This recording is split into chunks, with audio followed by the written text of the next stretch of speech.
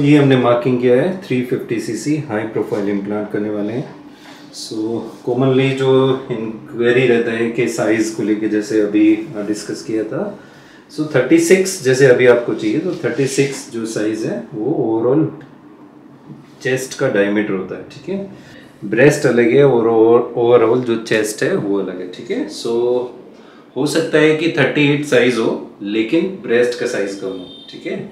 जो main improvement होगी तो ये जो देखेंगे यहाँ पे, ये बिल्कुल एकदम फ्लैट है। अगर हम साइड से देखेंगे तो ये जो है, थोड़ा आगे ये तो साइड से देखेंगे तो ये देखिए प्रोफ़ाइल यहाँ से बिल्कुल फ्लैट है।